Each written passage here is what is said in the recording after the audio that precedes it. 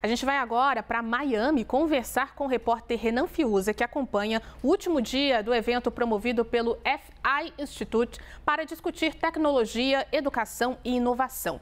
Durante a conferência, os líderes debateram como a inteligência artificial pode ser uma aliada de um mundo mais sustentável. Renan, conta pra gente o que, que você está acompanhando por aí. Segundo e último dia de evento aqui em Miami, na Flórida, e mais uma vez a tecnologia, sobretudo a inteligência artificial, no centro das discussões. As lideranças que estão reunidas por aqui acreditam que o futuro para um mundo mais sustentável passe por essas novas ferramentas tecnológicas. Mas de nada vai adiantar o avanço do setor se os investimentos não forem destinados àquelas pessoas que mais precisam.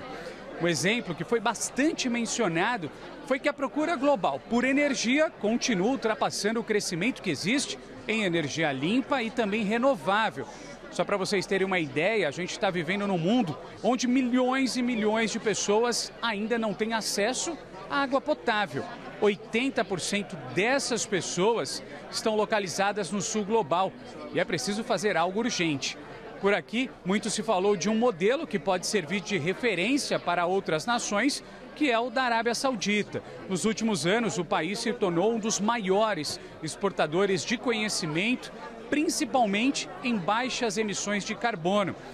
Os sauditas apostaram em melhorias nos painéis solares, otimizaram também a dosagem de produtos químicos na dessalinização da água e se tornaram assim né, um dos pioneiros, fazendo com que o processo se torne cada vez mais eficiente.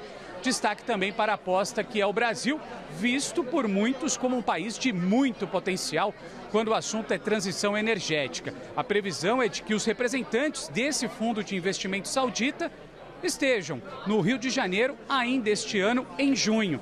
O objetivo é conversar com empresários e também fechar acordos. De Miami, na Flórida, Renan Fiuza.